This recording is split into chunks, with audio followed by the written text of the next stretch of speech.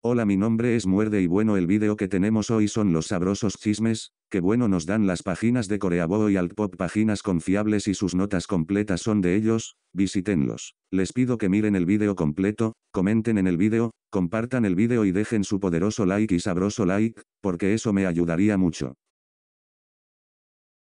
Bueno amigos y no esperábamos más, porque ahora meten al hermano al papá de Gia o sea a qué nivel llega el odio para meter hasta a la familia, pobre Gia en serio. La agencia de Fricia responde a los rumores de que su padre dirige un salón de habitaciones. La agencia del influencer Song Hya declaró, todavía no tenemos nada que decir sobre varias acusaciones y nuevos rumores que han surgido sobre el youtuber. La agencia de Song Hya le dijo a Osen en la tarde del 26, no tenemos nada que decir con respecto a los rumores de que su padre dirige un famoso negocio de entretenimiento para adultos en Busan. Después de la controversia de usar artículos de lujo falsos, Song Hya se ha visto envuelta en otra controversia en la que un cibernauta afirmó que su padre no es dentista como afirmó la influencer antes en su vídeo. El cibernauta que levantó sospechas afirmó que el padre de Song Hya es en realidad el propietario de un negocio de entretenimiento para adultos conocido como sala de habitaciones. Además, la agencia también declaró que no tenían nada que decir cuando se les preguntó sobre el pago de YouTube. Fricia quitó todos los vídeos de su canal de YouTube después de publicar un vídeo de disculpas el 25 de enero. Sin embargo, algunos cibernautas plantearon acusaciones de que la agencia de Fricia había decidido retirar todos los vídeos a finales de mes, teniendo en cuenta la fecha de pago de YouTube, que suele ser el 20 de cada mes. Se me hace de pésimo gusto el investigar la vida de ella,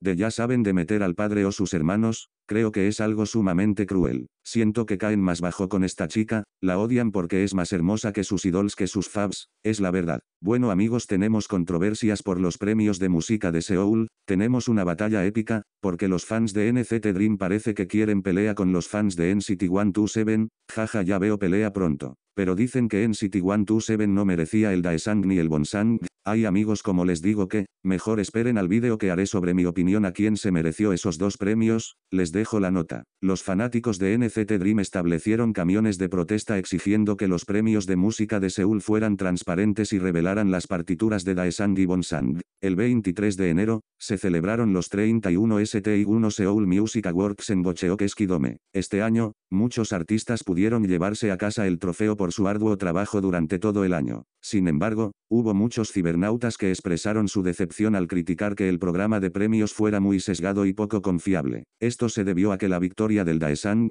o el Gran Premio, fue en City 127. Muchos cibernautas y fanáticos creían que en City 127 no tenía muchas actividades que fueran dignas de mención para merecer el Gran Premio, y había otros artistas que podrían haber recibido el premio. Para sorpresa de muchas personas, los fanáticos de NCT Dream fueron uno de los fandoms más molestos por los resultados del programa de premios de este año. De hecho, los fanáticos de NCT Dream instalaron camiones de protesta exigiendo que los Seoul Music Awards revelaran las puntuaciones de los premios. Los fanáticos de NCT Dream estaban molestos porque afirmaban que NCT Dream tuvo más éxito que NCT 127 este año, ya que habían establecido múltiples récords nuevos y fueron reconocidos más. La foto del camión que protestaba fue compartida en una comunidad en línea donde otros cibernautas se unieron para compartir sus pensamientos sobre este asunto. Estos cibernautas estaban perplejos desde NCT Dream, y NCT 127 están bajo el paraguas del grupo NCT. Estos cibernautas comentaron, ni siquiera son fanáticos de BTS o de IU,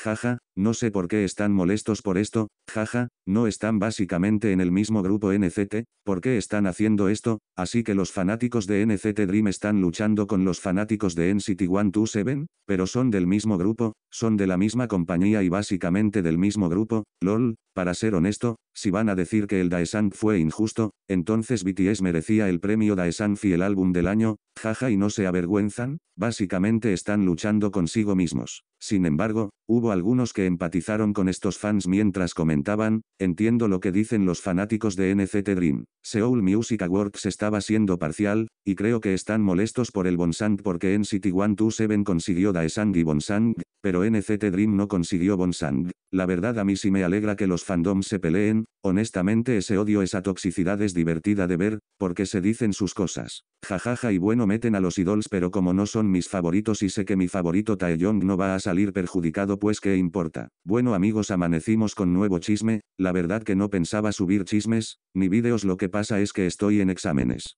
Pero bueno amigos tenemos que dos chicos parece que los canceló pero la policía porque parece que en Corea sí se respeta el distanciamiento social, porque a dos famosos idols les han puesto cargo de eso, al grupo de SF9. Ah pero espero que se aplique para los grupos top, porque no es muy justo que solo los que no son tan famosos, les dejamos la nota. Chani y Billoung de SF9 reservados sobre cargos de violación del distanciamiento social. Chani y Billoung de SF9 han sido contratados por los cargos de violar las pautas de distanciamiento social. Según informes del 27 de enero, Chani y Billoung fueron capturados en un bar en Nonjeon-don, Gangnam, a la 1 am del 18 de enero KST por agentes de policía, que recibieron un informe de que el bar estaba funcionando después de que el gobierno ordenara la hora de cierre. Los informes dicen que la policía y el departamento de bomberos forzaron abrir las puertas del bar cuando estaban cerradas con llave cuando llegaron. Los dos miembros de SF9 y 15 personas fueron capturados en el bar, y todos fueron reservados por violar las reglas de distanciamiento social. Se sospecha que estaban celebrando el cumpleaños de Chani, que es el 17 de enero. FNC Entertainment confirmó, nuestros artistas violaron las reglas de distanciamiento social.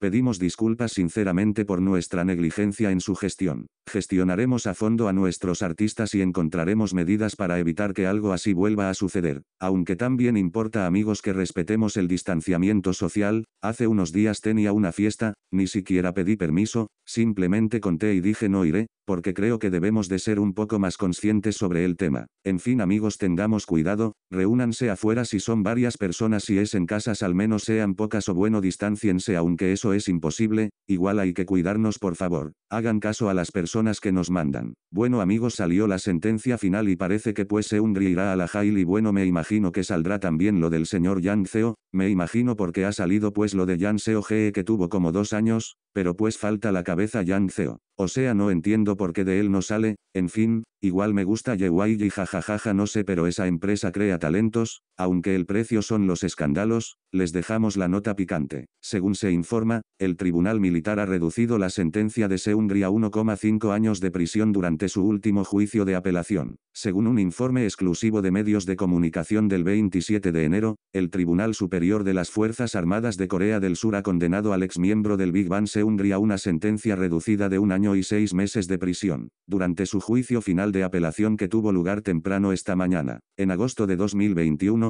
el Tribunal Militar sentenció a Seungri a un total de tres años de prisión, así como una multa de aproximadamente 1.156 millones de KRW, 960 dólares americanos, por sus nueve cargos penales que incluyen malversación, violación de las leyes de saneamiento de alimentos, agresión sexual, filmación ilegal de cámaras, solicitud de prostitución, juegos de azar ilegales habituales, transferencia monetaria extranjera ilegal, agresión, etc. Poco después de la sentencia inicial del tribunal, el representante legal de Seungri solicitó una apelación en octubre de 2021. La Fiscalía Militar también solicitó una apelación y, como resultado, la baja de Seungri de sus funciones obligatorias del servicio militar también se retrasó. Originalmente, si se hubiera declarado inocente de sus cargos, Seungri habría sido liberado de sus funciones el 16 de septiembre de 2021. Según el informe del medio de comunicación anterior, la parte de Seungri admitió los nueve cargos penales durante la audiencia de apelación del Tribunal Superior y presentó una declaración de reflexión por sus irregularidades. El Tribunal Superior tuvo en cuenta que el acusado admitió sus cargos y mostró un comportamiento reflexivo al ajustar la decisión inicial del juicio. Actualmente,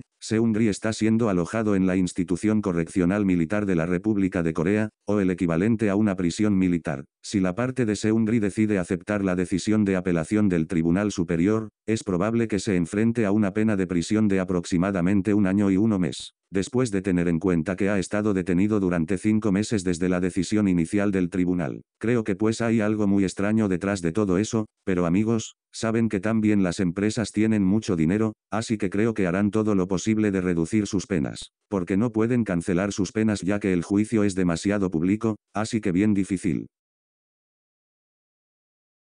Bueno amigos aquí finaliza el vídeo, porque bueno amigos las noticias han estado muy picantes aunque creo yo que se van a venir más, siento que este 2022 puede que los fandoms se pongan un poco más locos, como están viendo porque las empresas están pues dando más favoritismo a ciertos grupos, que algunos fandoms no van a aguantar mucho, esperemos que Lubie colapse, porque puede que dejen de lado a Red Velvet.